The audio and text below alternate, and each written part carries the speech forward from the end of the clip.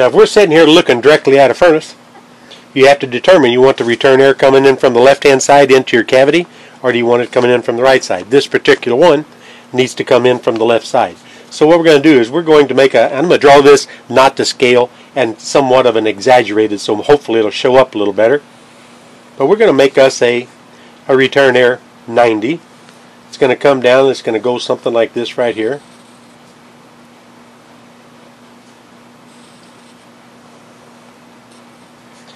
We're going to make this 24 inch total height. That's 24 inch all the way top to bottom. We're going to have flanges on it here. That's going to attach to the, or the side of the uh, return air box. We're going to have drive tabs on this right here because that's going to attach to the next fitting up above as it goes up to the return trunk. And then right here we're going to incorporate a filter slot. It's going to have an opening right here that's going to allow a standard 16 by 20 filter to, to slide in. So to finish drawing this, I'll just isometrically just kind of draw it out there a little ways like this right here. Again, not to scale, and I'm drawing off center, so it's kind of kind of boogering up on me there. This will be a top flange here.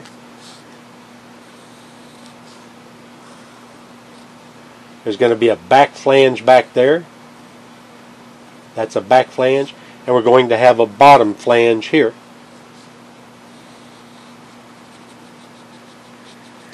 Haven't decided if there's going to be a flange on the front. I might have the slot directly up against the uh, the metal, or I might reset the slot back about an inch or inch and a quarter and put the slot somewhere in this four inch throat. And that's another thing too. We're going to have a four inch a four inch throat right here before it turns 90 and goes up. So this dimension here is going to end up 16 inches. Nominally, I'd like to leave them 16 and an eighth or so because the filter actually measures like 15 and 7 eighths, but if you leave it 16 and an eighth, it definitely slides in adequately. That's going to be 16 inches in height, and it's going to be 20 inches front to back right there. This is going to end up 9 inches across here, and if you transfer that back to there, it's 20 inches back there. Okay, so we're going to go back to business and land this out and get that thing fabricated. Now if you take a look at the pictures, see what we're going to fabricate. This is going to be the left side. I'm going to lay this down here. And if you can visualize the left side, that's exactly what we're going to lay out right here. Return air will come down, it'll turn, go right through the filter and into the air handler. We know that we have to have a quarter inch all the way down and around that heel wrapper. So we're just going to go ahead and lay out a quarter inch come all the way across here. Now I know that duct is going to be 9 inches wide, so I got to get me a measurement at 9 and a quarter in from the outside edge. Then I've got to add another quarter to it for the uh, for the other quarter inch on that on the toe wrapper. Come down here and make a second set of marks. Here would be 9 and a quarter plus a quarter. Now we're going to have a 4 inch throat on that, so we go to the 9 and a quarter inch mark and add 4 inches to it. That's going to be our 4 inch throat. Then we want to have uh, two 1 half inch added for the double hem. So we have a half inch double hem which requires two half inch marks or one full inch. Double check this, that should be 5 inches from that inside mark all the way into here. So now we know that 14 and a quarter inches down here should be should be where we need to cut this piece off. So let's go ahead and drop our one inch off of that and there's a half inch that goes in between them. We know that it's going to be a 16 inch filter and remember I said I like to have about 16 and an eighth inch so I'm going to go 16 and 1 8 inch up from the quarter inch mark which is 16 and 3 eighths inch up from the outside edge but I'm going to put me a, a mark right there. That's going to be the top of the filter. So we come in 16 and 3 eighths, approximately the 4 inches. Then we have to add a quarter inch to it up here for the quarter inch that's going to go into the Pittsburgh lock. So we have the rudimentary design or the shape laid out already. So now we're going to connect the dots. Remember I didn't have to measure the height because I'm using 24 inch material and we want this to be a nominal 24 inch piece of duct it's going to actually be 23 and 3 quarter because we're going to use up that quarter inch down here. But if I connect all of these dots here,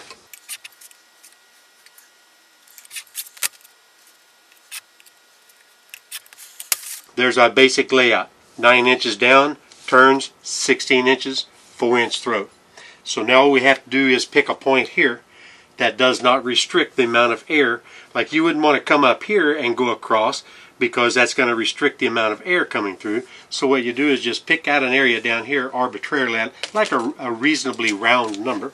So let's just see in this general area, we've got about 12 inches. 12 inches is fine because there's a good 10 or 12 inches across here, so that's actually opening up. So I'm going to pick 12 inches here. I picked 12 because it's just easier to add round numbers instead of fractions. So I come in here about 7 inches from the rough edge. We're going to connect those two dots. We're going to add a quarter inch at the angle that that line is for the quarter inch that goes into the Pittsburgh lock as it comes around the back side of the heel wrapper.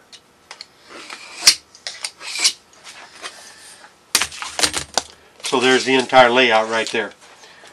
I could have brought this down a little bit farther, but if I check right across here to this intersection line here, I can see I've got 10 inches. So I'm 9 up here, and I'm going to open that up to 10 and then drop down to 16.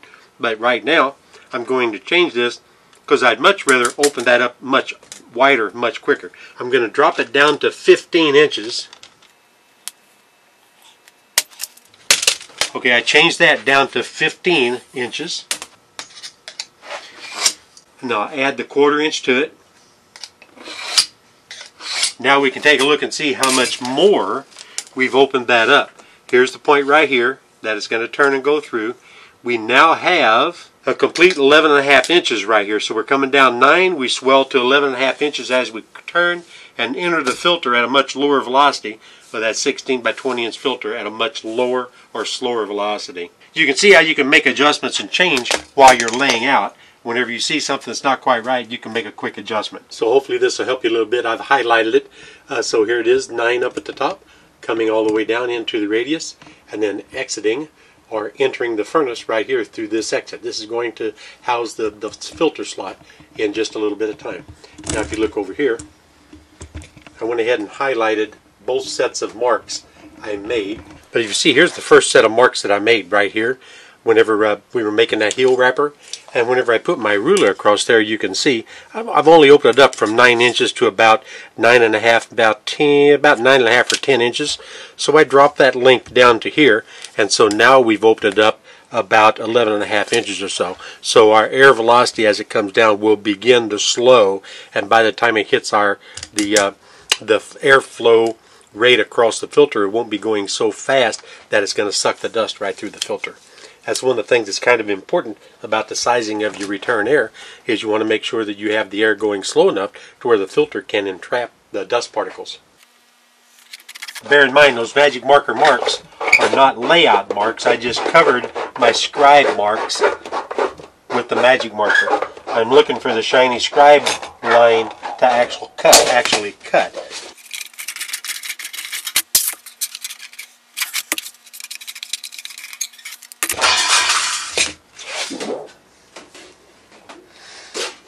Now we're going to notch this properly. We're going to use this as a pattern.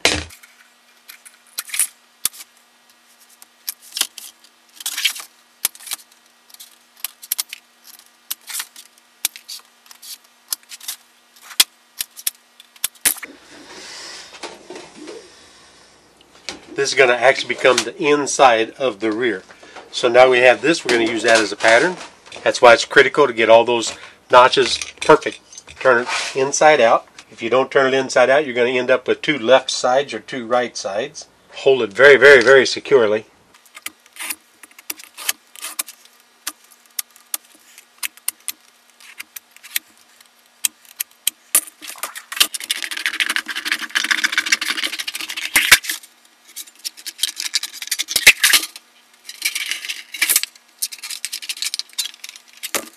That's a good idea to go ahead and scribe everything on this. Not totally necessary. I'm only doing it now for uh, for for your benefit. but if you scribe it all, then you'll see for sure where all your bending lines are when you're going over to the brake.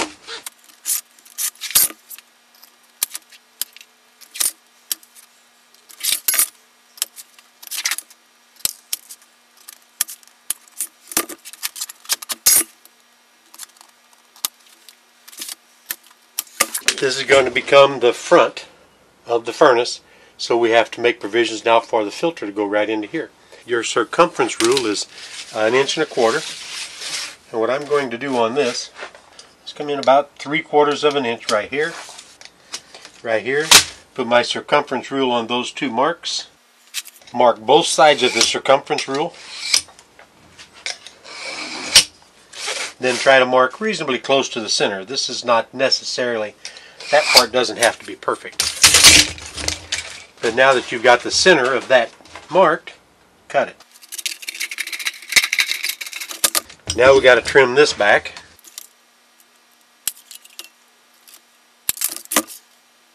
That'll come into play here in just a few minutes. I'm cutting that a little deeper than the quarter inch bend.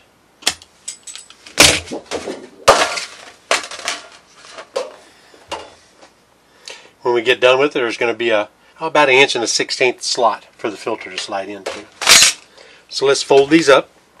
Then we'll come back and we'll measure up and make the wrappers. First thing we're going to do is we're going to fold that half inch double hem flange. It's going to be a little awkward. I'm going to try to stay out of the camera view, but it's not going to work too good, I don't think. You can spank that flange. And let me tell you whenever you whenever you do flatten that down if you leave it out just a little bit it puts a little bit of a rounded edge to it. That really makes it a lot stronger. Now you'll still smash it at some particular point in time more than likely but it's nice to start off with a nice reinforced bend. Again come back here to your one inch notch. Fold that up and give you your half inch flange now half inch flange. We have these inside bends to do, but we're going to do those in a different fashion. So what I'm going to do is I'm going to slip this all the way through and let this flange hang off the end of that bending bar. Bring it into the quarter inch mark. Take it up with a 90. Come in here to this one. Now when you get your notches just right, you can fold these 90s going around these uh, wrappers like that without crinkling it right here. If you don't get the right angle, when you raise this um, raise this bending bar up, it'll crinkle right into the apron. And then you got to straighten that out before you can assemble it. I bump them every now and then. But see, like right here, there's no distortion. Had that been cut at a, at a less of an angle, it'd be crinkled right there. We're going to do the same thing here.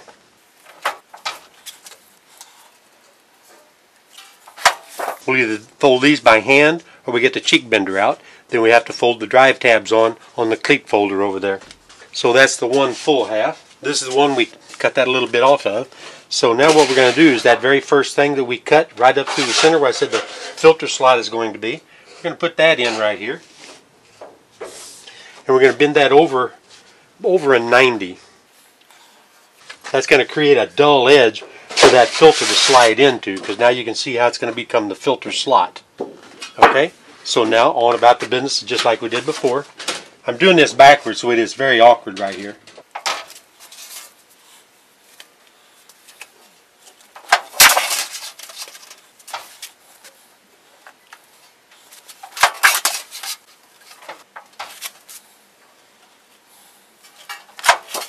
Fold those drive tabs. Okay, this is the double hem flange.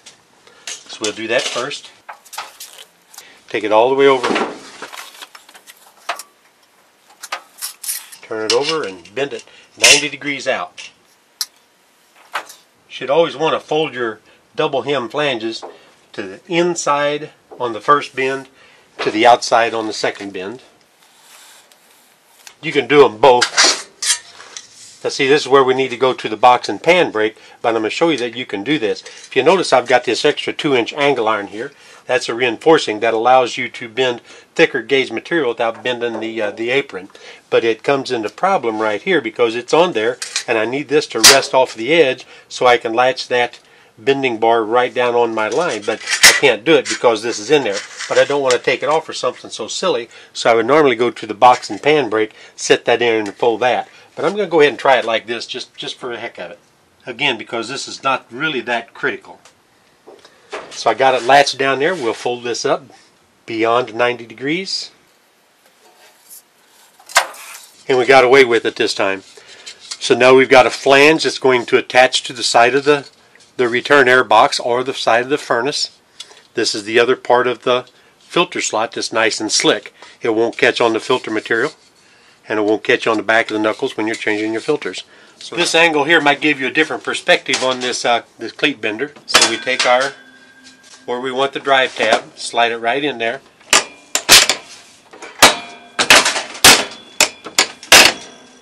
There's a perfect drive tab.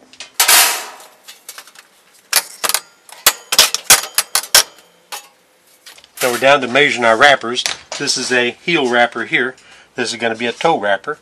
This is bent to the inside. This is bent to the outside. So if you remember we had 15 inches to this first mark. So that should be a given. It should be uh, 14 inches to the line, 15 inches to the outside edge. So we're going to write 15 down right there. This here should be 7 inches and then here is the wild card. But if you go from your mark to your mark, you're going to read 11 and a 16th. So let's just call it for the heck of it 11 inches.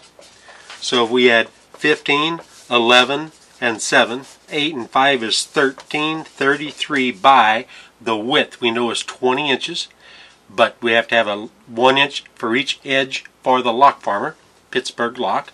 So 20 plus 2 is 22. So our cut size on this right here is going to be 33 inches by 22. Inside here we have to fold this real quick. I'm just going to fold that by hand. Normally I would get the cheek bender if I had a whole bunch of them to do, but I'm going to do it by hand.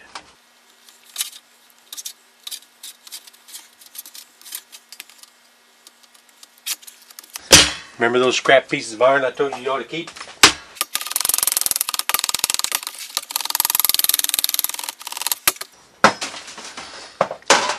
Now we get our toe wrapper, two toe wrapper measurement. We have four inch plus the one inch. So that's going to be five. From the one inch line down is six and a half plus one. So seven and one half plus five is 12 and one half by 20 plus 2, so by 22. The first one was 30, 33 inches by 22. So we can go ahead and just use the circumference rule. Give us 33 inches.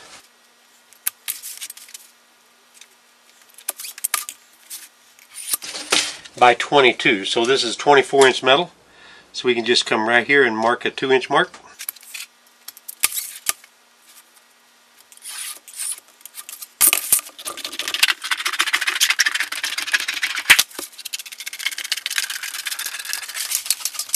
Save this, it's going to come into play.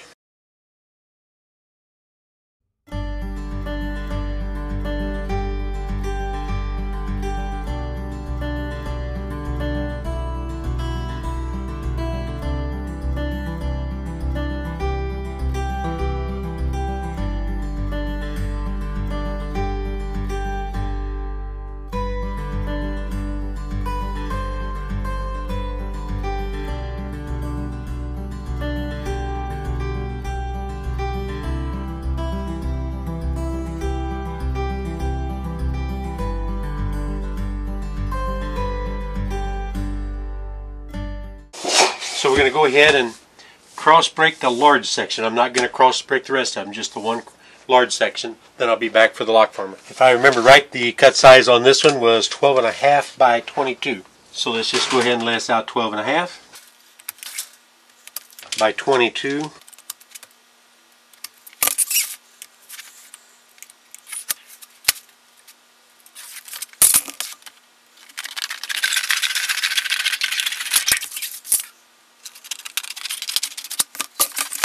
Start off with our Pittsburghs. We know we have to have the one inch here. We got our double hem.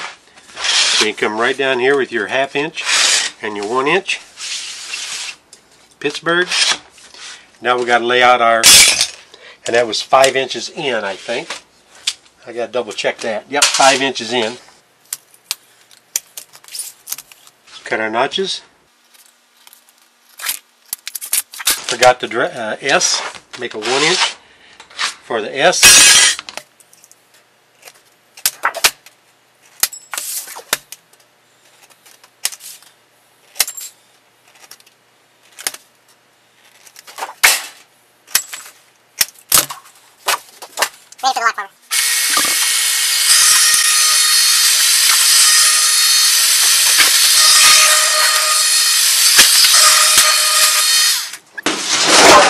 We'll start off on the heel wrapper by uh, folding the half inch double hem.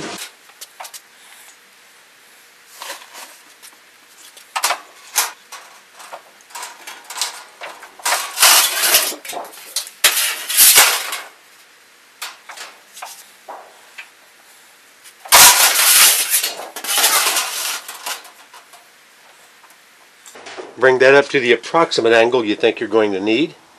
It's very adjustable as you're assembling it. This should end up a semblance of 90 degrees. That's the heel wrapper. Toe wrapper gets folded opposite. We'll start off with the half inch double hem again.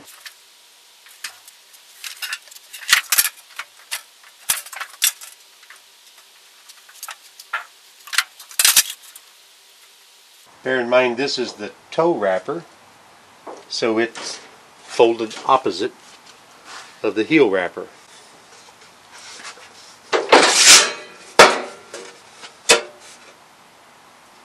When you assemble these things as multiple pieces, they're floppy, they're flopping all over the place.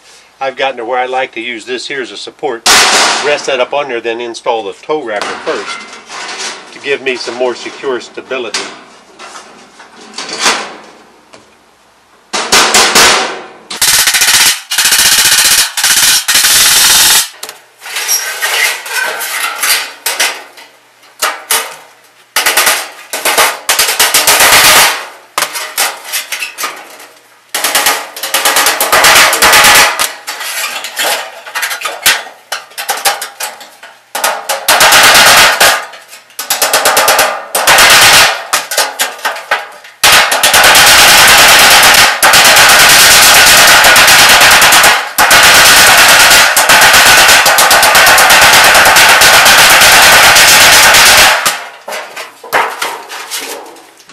Hang your flange over the outside edge while you're beating down on it from up above. If not, you'll bend that flange back upward.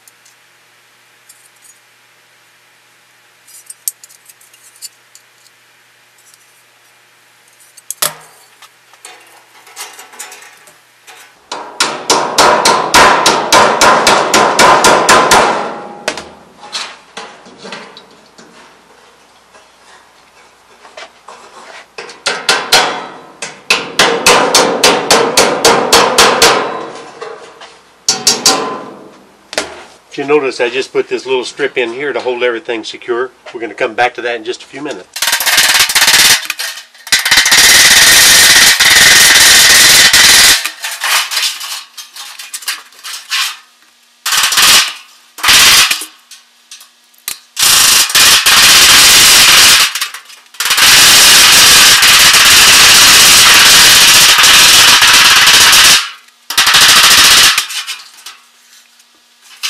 Okay, you can clearly see now from this angle the filter slide.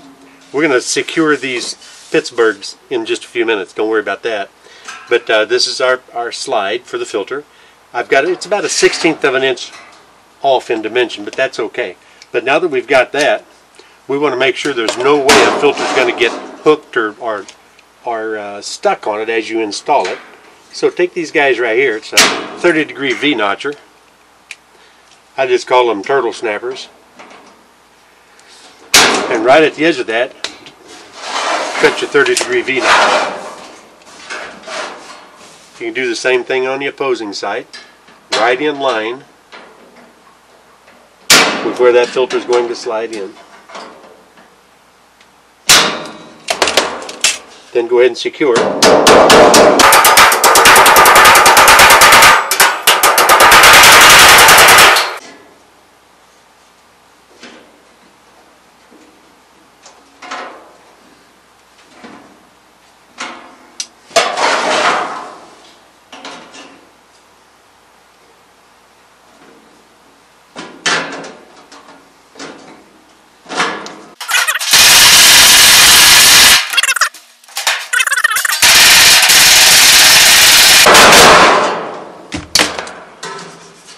Sharp edges. Nobody's going to get scratched or anything. Your filter is going to slide in and out perfectly.